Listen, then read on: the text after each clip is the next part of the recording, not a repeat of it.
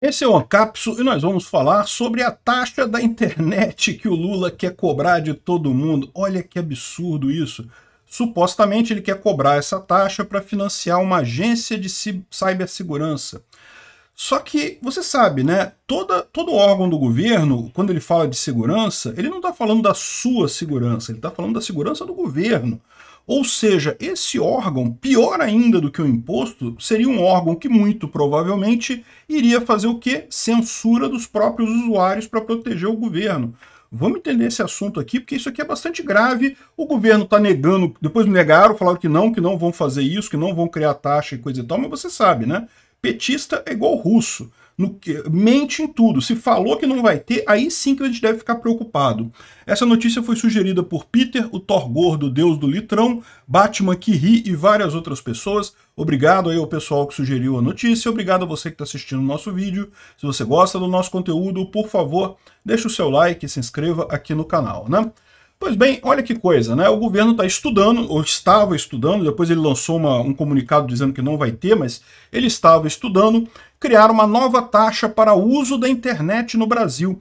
Ou seja, pelo que eu entendi do que eles estão propondo aqui, é igual uma, uma espécie de TV tax que tem lá na Inglaterra, que ninguém paga no final das contas, o pessoal dá um jeito de, de sonegar isso daí, mas em tese, se você tem uma televisão na Inglaterra, você tem que pagar essa taxa para o governo. Aqui, da mesma forma, a ideia deles é taxar todo mundo que tem internet. Então, eu não sei se seria uma taxa fixa para cada pessoa ou se será uma, um percentual do quanto você paga de internet. Se for uma taxa tipo imposto, X% de quanto você paga a internet, isso daí é, é bitributação porque você já é tributado pela, pela pelo IVA no, no, na reforma nova e pelo ICMS e ISS na reforma na, na, do jeito atual, né? ou seja, você já paga imposto sobre o seu acesso à internet. Criar um novo imposto do mesmo em cima da mesma coisa não pode, né? apesar de que com a nova reforma tributária, uma das coisas terríveis que eles inventaram é isso, acabar com essa, com essa limitação de bitributação. O governo pode agora,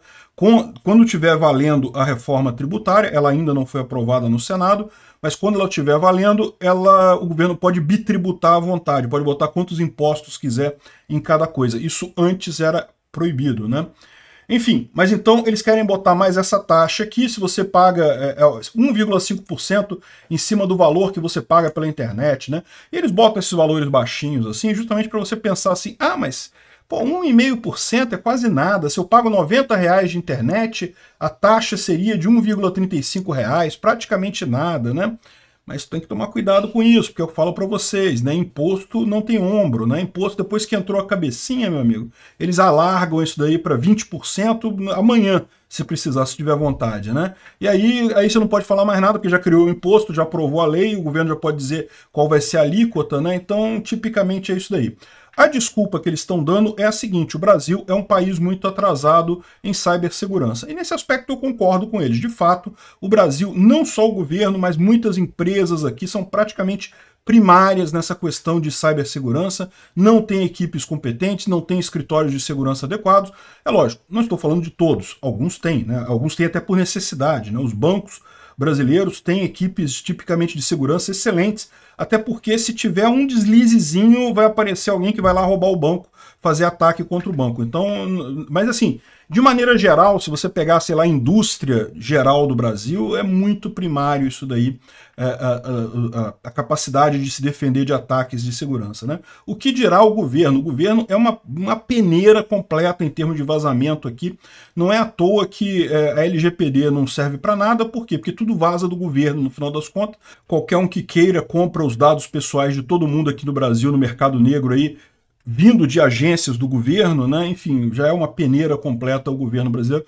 De novo, tá? tem, tem alguns órgãos no governo brasileiro que são mais bem organizados, outros nem tanto. E quando você desce para estados e prefeituras, então, hum, rapaz, enfim. É, ou seja, em princípio parece uma coisa legal, mas é o que eu falo para vocês. Esse é o problema. O governo ele usa problemas reais. O problema existe. O Brasil realmente precisaria de mais segurança. Né? É, é, se você vê como é que como é que está a guerra lá na Ucrânia com a Rússia, por exemplo, os dois lados estão usando ataques cibernéticos o tempo todo. Se você não tiver uma infraestrutura muito bem feita, um pessoal muito capacitado para cibersegurança, nada fica de pé, né? Agora, o que eu falo é isso, né? A, a, a, o problema existe, a solução que o governo quer dar para o problema é que é uma idiotice completa. E é esse é o principal ponto. Tem muita gente falando assim, não, o governo vai dar uma taxa nova, que coisa terrível e coisa e tal, né? Tá aqui, eles querendo, estão querendo financiar o projeto da Agência Nacional de Cibersegurança, que seria um valor de 600 milhões de reais por cinco anos e coisa e tal. E, enfim, o pessoal está tá focando muito no, no valor do imposto que você vai pagar.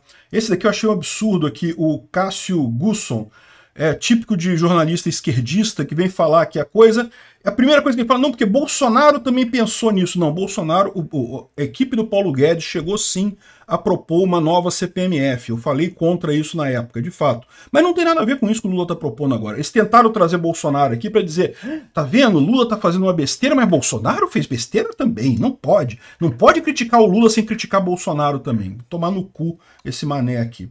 Enfim, é, não, que tá, o Bolsonaro... E outra coisa, o Bolsonaro não levou adiante o caso. O, o caso do Lula a gente não sabe ainda. Eles disseram também que vão. Uh, uh, o governo nega que vai uh, taxar o usuário de internet para bancar a agência.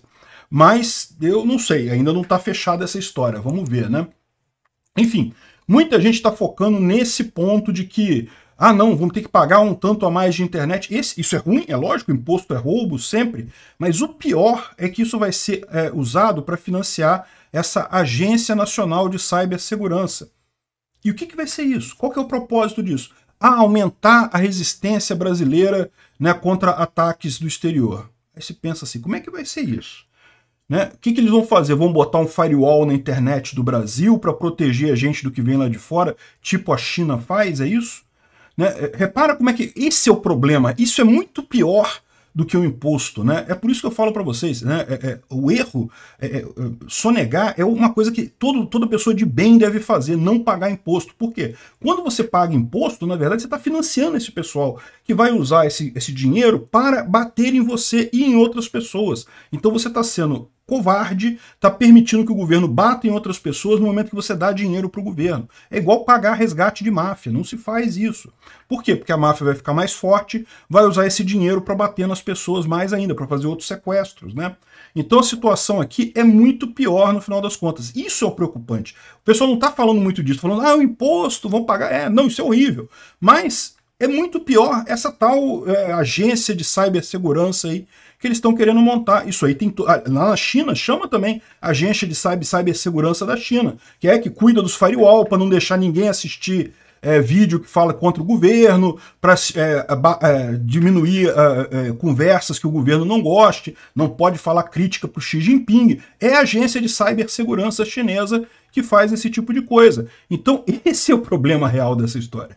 O, o grande problema disso daqui não é o imposto de menos nessa história. O grande problema disso daqui é a tal da ANSIBER, que eles estão querendo criar lá, a Agência Nacional de Cibersegurança. Isso aqui é que é o real problema, é que a gente devia estar preocupado mesmo, né?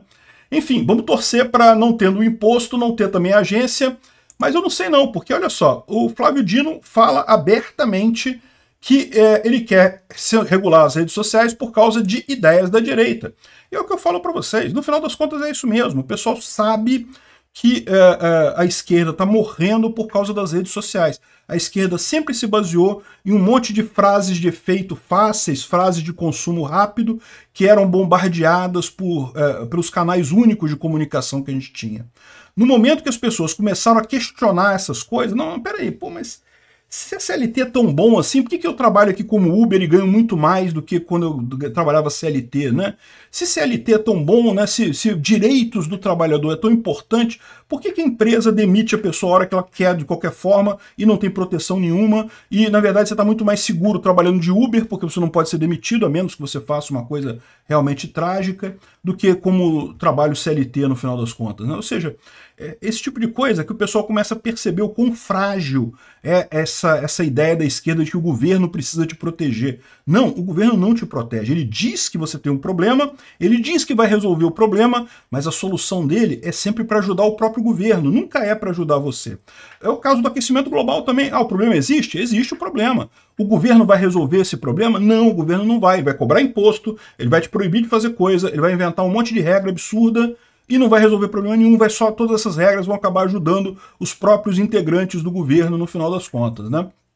Enfim, tá mais do que na cara que é isso, você sabe que é isso, e esse é o problema.